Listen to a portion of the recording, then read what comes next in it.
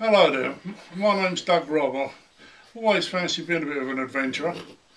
And sailing off the Somalian coast not so long ago. We were attacked by pirates and in the ensuing melee I was struck a terrible blow on the right arm and I lost that. And uh, it just went over the side. And next thing I remember was we obviously escaped. And I woke up in hospital my foreign country and they stitched my arm up and what have you. And after a little bit of rehab, they uh, fitted me with a temporary false arm with a hook.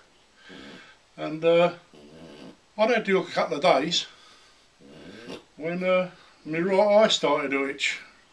And well, I just wasn't used to the uh, having having the hook.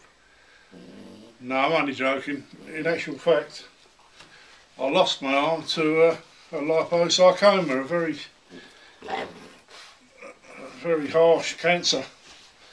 And uh, thanks to doctors in Bridge Street in Cambridge and Addenbrooke's Hospital, they sent me off to the Royal Orthopaedic in Birmingham, where they had to amputate my arm to uh, to, to save my life.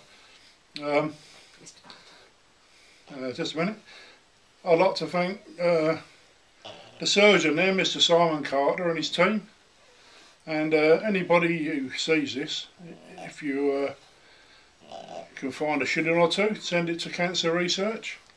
I'm sure they'd appreciate it, I would. and um, look out for lumps, they don't hurt, you know, and they kill. All the best.